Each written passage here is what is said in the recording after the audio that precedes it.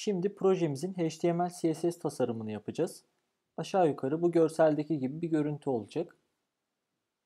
Görseli kapatıyorum. Başlamadan hemen önce e, benim bu projede kullanacağım bazı ikonlar var. İşte resmi açarsak tekrar bakalım. İşte logomuzun olacağı bölümde bir ikon var. Ondan sonra bekleyen listesindeki maddelerin ikonları, yapım aşamasında olanlardaki ve tamamlananlar bölümünde yer alan maddelerin başında bulunan ikonlar var. Bu ikonları ben hemen projeme bir alıyorum. Bunun için Assets'in içinde SVG diye bir klasör oluşturup oraya atıyorum bunları. Güzel bir düzenli bir yapı olması için. Klasörümü açtım. Bunun içine ikonlarımı yapıştırıyorum. Tamam. Şimdi burayla işimiz bitti. Hemen kodlamaya başlayalım artık. Kodlarımızın tamamını home komponent içerisinde yazacağız. Servis dosyamı, app komponentimi ve routing modülümü kapatıyorum. Home komponentimin HTML dosyasını açtım. Ee, görelim kesin çalıştığını. Tamam. Şimdi HTML CSS tasarımını yaparken genellikle fazla bilgi vermeden hızlıca tasarımı çıkartmaya çalışacağım. Çünkü burası biraz uzun sürecek. Ee, videolarımızın konusu da Angular olduğu için ben HTML CSS'in üzerinde fazla durmayacağım. Kısa bir bilgi vermek gerekirse buradaki maddeler e, bekleyen, yapım aşamasında olanlar ve tamamlananlar arasında sürükle bırak şeklinde olacak. Bunun için Angular materyaldeki bir özelliği kullanacağız. E, oraya kadar ben hemen hızlıca tasarımı yapmaya başlıyorum şimdi.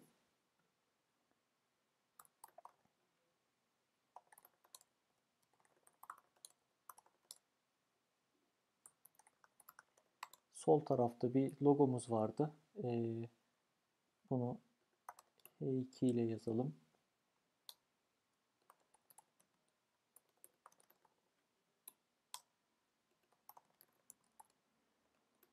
Burada bir ikonumuz vardı. Hangi ikon olduğuna bakıyorum. Buydu sanırım.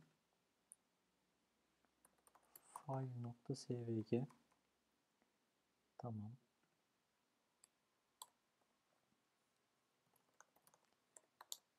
Burada bir yeni ekleyeceğimiz input'umuz vardı. O input'u hemen materyalden alalım.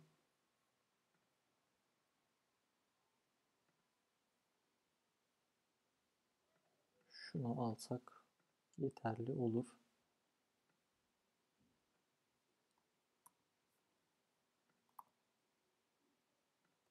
Şuna gerek yok. Burada yapılacak yeni madde ekle diyoruz. Value yok. Tamam. Ee, bunun yanında bir buton alalım hemen.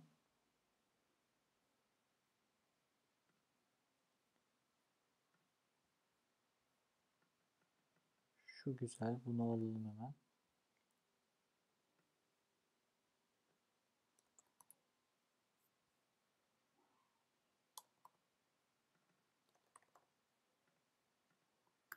Görüntümüze bir bakalım. Muhtemelen input'u e, dahil etmemiz gerekecek. Evet hata verdi zaten.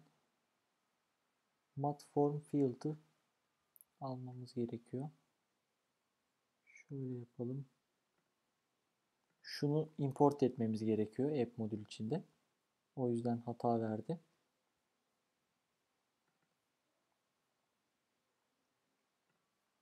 Burayı şöyle yapayım. Ee,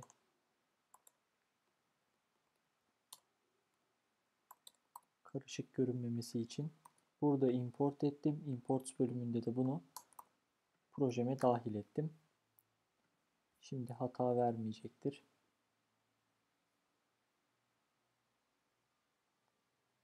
Evet tamam. Ee, CSS tarafında oraya güzel görüntü vereceğiz. Hatta hemen yapalım. Ee, şimdi CSS'lerimizi style SCSS içerisinde de yazabiliriz. Bu bütün komponentlerde geçerli olacak burada yazdıklarımız. E, sadece ana sayfada kullanacaklarımızı home komponentin e, sadece home komponentte kullanılan SCSS içerisinde de yazabiliriz. Ben bunu tümünde yazayım. Hiç komponent komponent ilerlemeyeyim.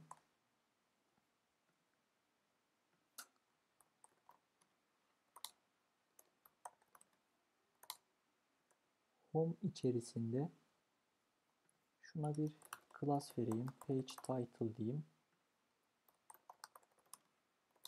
Bunun içindeki svg'ye de bir class vereyim.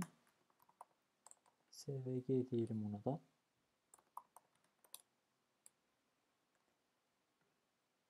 Yazı, yazıyı da span için alayım. Tamam. Şimdi svg'mizi şöyle bir deneyelim. Bakalım nasıl görünecek.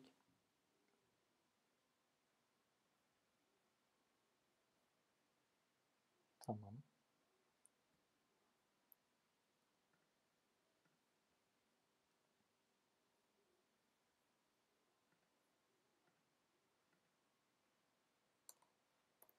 Bunu da 60 yapacaktım. 70 yazmışım.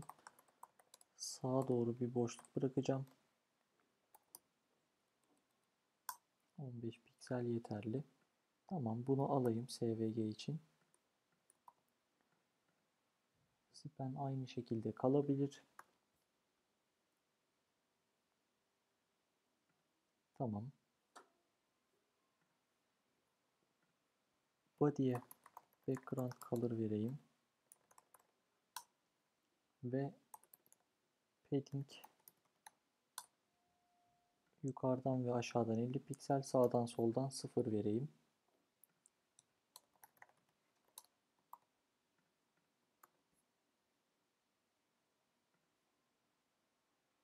Tamam. Ee, şurayı %100 genişlik yapalım.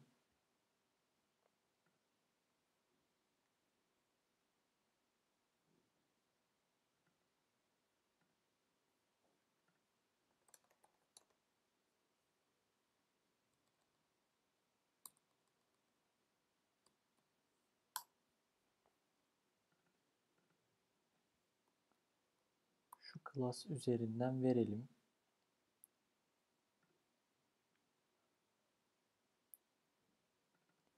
Example formun içinde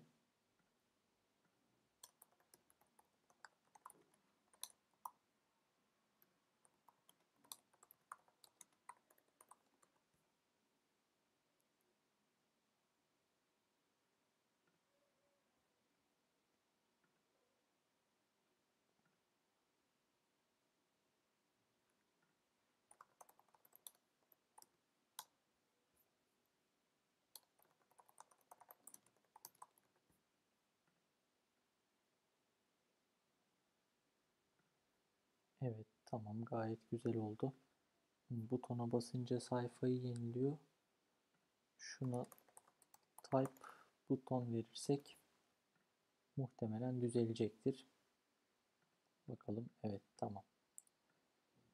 Ee, şimdi alt kısma maddelerimizin e, listelerin geleceği bölümü yapacağız. Oraya bir kart ekleyelim şuradan. Bunu da hemen dahil edelim projemize. App modül içerisinde Angular materyalin olduğu bölümde bunu da import ediyorum. Hemen şunu kopyalayıp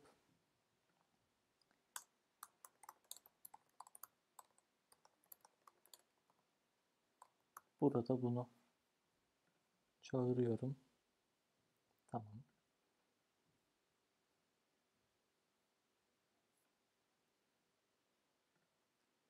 E, şuna yukarıdan biraz boşluk verelim.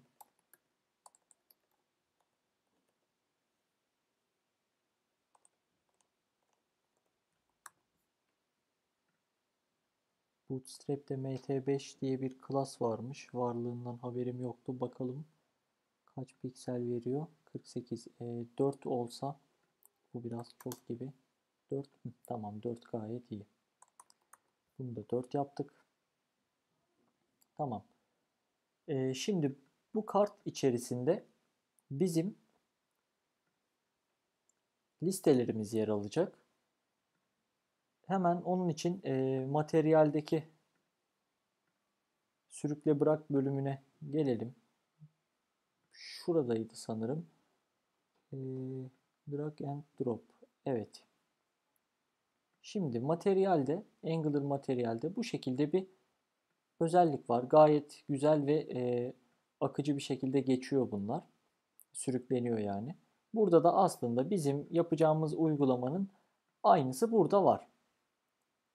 Yapılacaklar ve tamamlananlar şeklinde. Biz aslında buradan bunu kopyalayacağız. Sadece ne yapmış olacağız? Ee, bunu API ile haberleştirip dinamik veriler almış olacağız. Bunu sağlayacağız. Hemen buradan kopyalayalım. Burada da varmış. Ee, biz şunu alalım. Tabii ilk önce bunu da dahil etmemiz gerekiyor.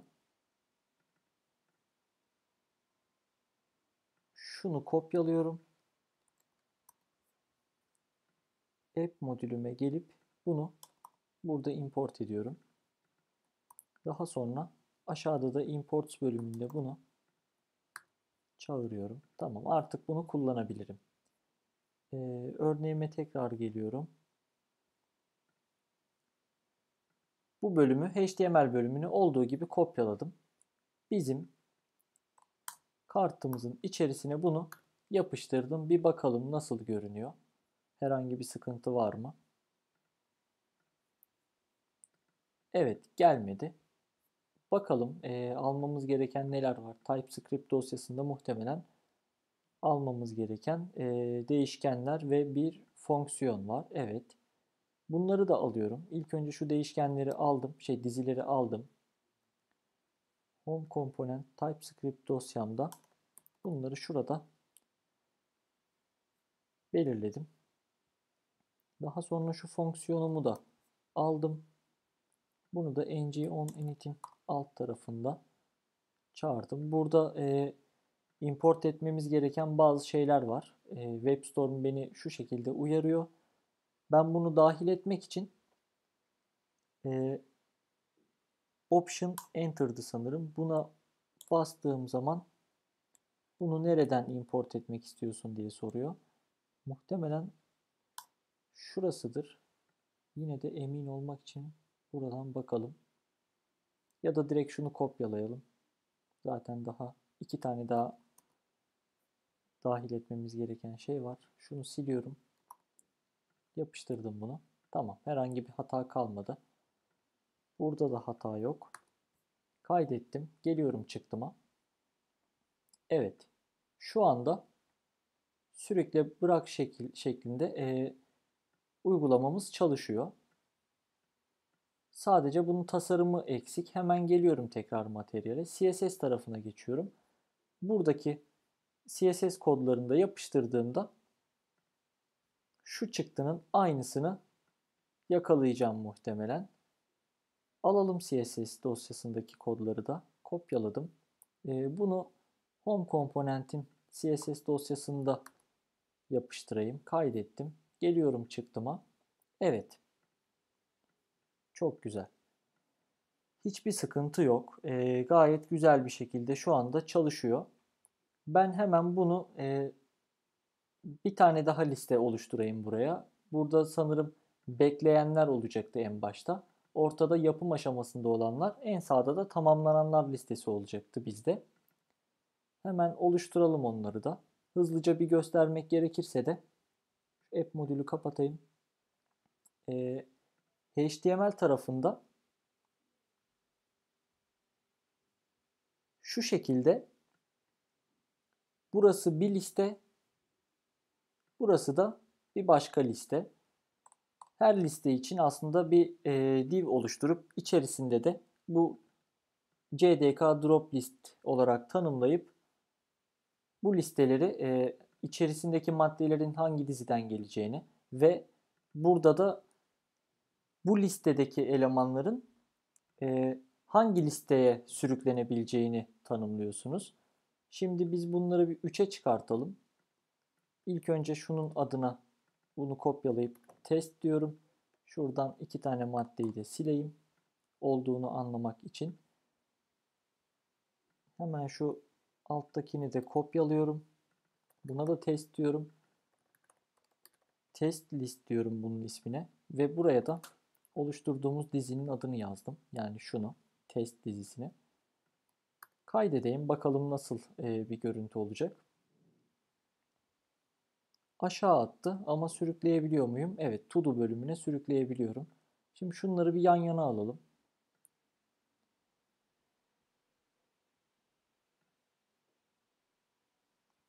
Buna display flex versem yan yana gelir mi? Gelir. Güzel. Hatta sadece bu yeterli olduğu için bunu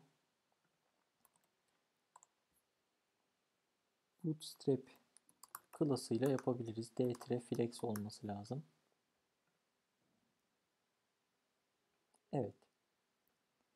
Ee, şimdi testi de oluşturduk ama sanki bu kadar eleman yoktu onun içinde. 3 tane var. Bakalım sıkıntı neymiş. Hmm, şurada e, maddeleri çektiği ng4 içerisinde yer alan bu diziden çekiyor. Yani tamamlananlar listesinden çekiyor. Yani e, şunları alıyor. Orada hemen burada da değiştirip test yazıyorum. Evet tamam şu anda doğru bir şekilde çalışıyor. Ama bakın mesela test listesindeki bir maddeyi alıp e, orta tarafa bırakamıyorum. Yani done listesine bırakamıyorum bunu. Ama to do bölümüne bırakabiliyorum. Şimdi bunun sebebi şu. Benim test listemin olduğu bölüm sadece to do liste sürükleyebilir diyor. Yani to do liste en baştaki. Buraya sürükleyebilirim sadece ben buradaki verileri. Bu anlama geliyor. Şimdi mesela buradan değiştirelim. Dan list yazalım. Bu sefer de e, orta tarafa sürükleyebileceğim. Bu en sola sürükleyemeyeceğim. Bakın ortaya aldım. Bir de bunu en sola almayı deneyelim. Bakın gelmiyor. Ama ilk önce ortaya sonra sola yaparsam gelecektir. Biz burada şöyle bir şey yapacağız. Bizim hatta şunların isimlerini de Türkçeleştirelim. To bölümüne bekleyenler buraya yapım aşamasında olanlar buraya da tamamlananlar diyelim. Biz burada şöyle bir şey yapacağız. Bekleyenler listesinden yapım aşamasında olanlar listesine atılabilecek. Buradan sürükleyip tamamlananlara atamayacağız. Yapım aşamasında olanlar bölümünden hem bekleyenlere hem tamamlananlara atabileceğiz. Tamamlananlar listesinden de sadece yapım aşamasında olanlar listesine veri gönderebileceğiz. Ee, şunların font size'larını biraz düşüreyim ben. Hepsi tek satırda görünsün. Şöyle yapalım. Example container içerisindeki H2. Bunu home komponentin CSS'i içerisinde almıştık. Example container içerisindeki H2 ya da şöyle yapalım. O H2'leri H5 yapayım ben. Şöyle seçeyim.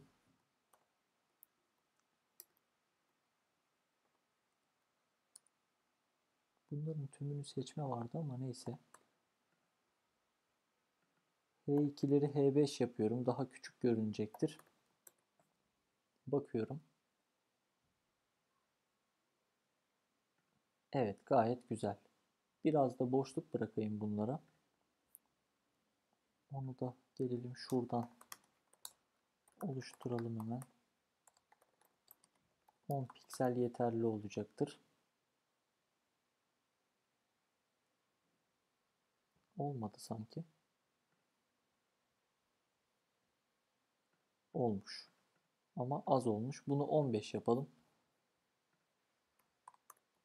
Tamam. Ee, şimdi ne yapacaktık?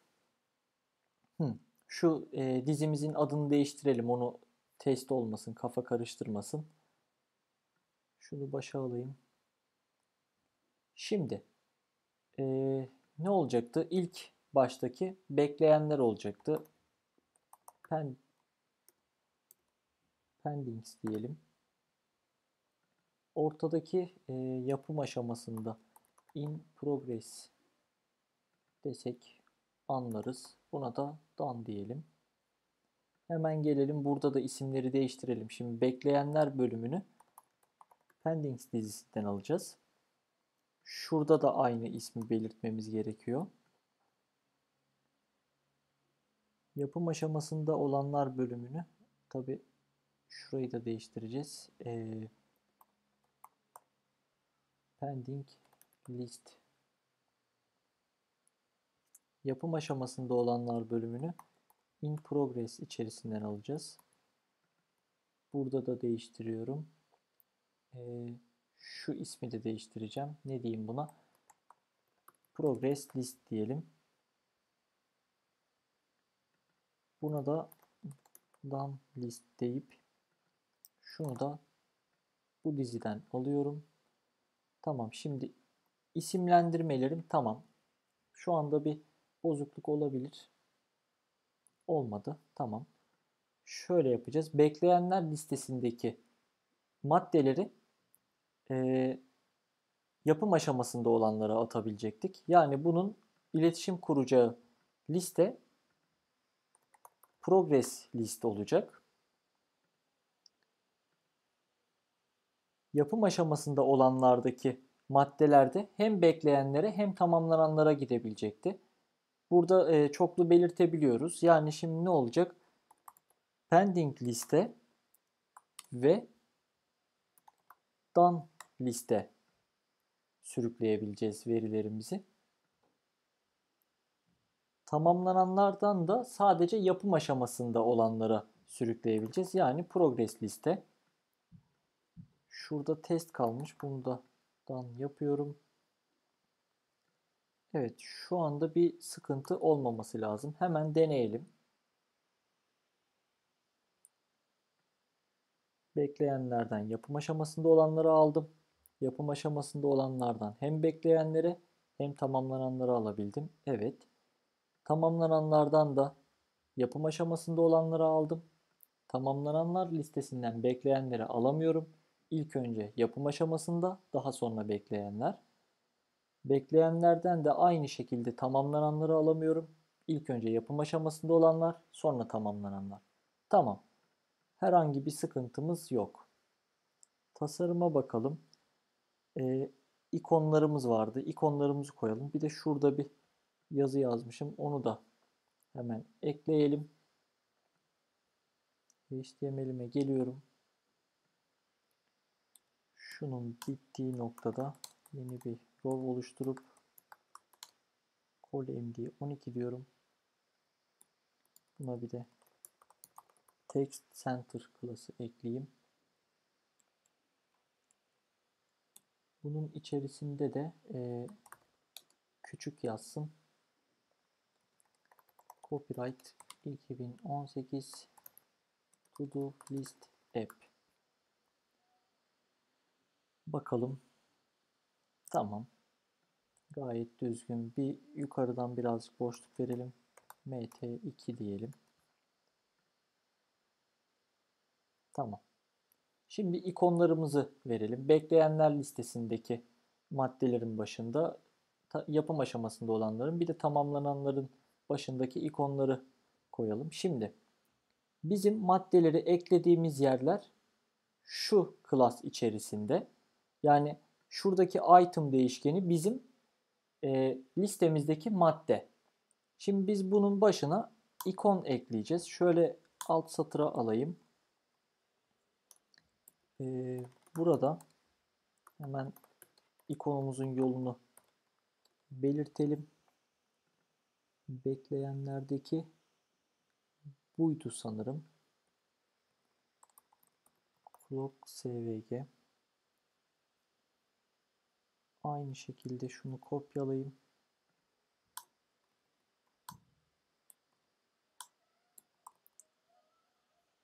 Bu da bu değil. Bu tamamlananlar. Ee, bu da değil. Sanırım şu. Evet. Burada da bunu çekiyoruz. Tamamlananlar bölümünde de like svg'ydi sanırım.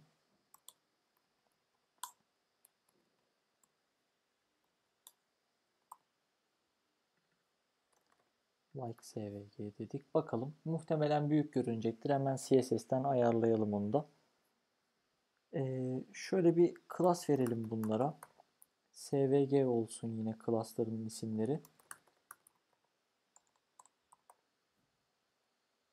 Hemen şuna da class'ı veriyorum. Example box'ın içindeki svg class'ı diyeceğiz. Bunun içerisindeki svg class'ı e, width 24 piksel diyelim. Width 24 piksel diyelim. Biraz da sağ tarafa boşluk verelim. 10 piksel kadar. Bakalım nasıl görünecek. Ee, yazıları sağa attı. Bakalım sıkıntı neymiş. Example box buna text line left desek olmuyor. Hmm, sanırım şundan dolayı. Flex start. Tamam. Example box'ta justify content flex start olacak. Tamam. Evet, gayet güzel görünüyor. Bakalım şöyle. Şimdi e, şuradan bir maddeyi aldım, buraya attım, ikonu değişti. Go home, buraya attım, ikon değişti. Tamam, hiçbir sıkıntı yok. Gayet güzel. Şimdi başka var mı yapacağımız bir şey diye bakıyorum. Tasarıma bir bakayım. Eksik fazla bir şeyimiz var mı? Yok. Tamam. Ben şimdi videoyu bir duraklatayım. Bir su içeyim geleyim. Ondan sonra devam edelim.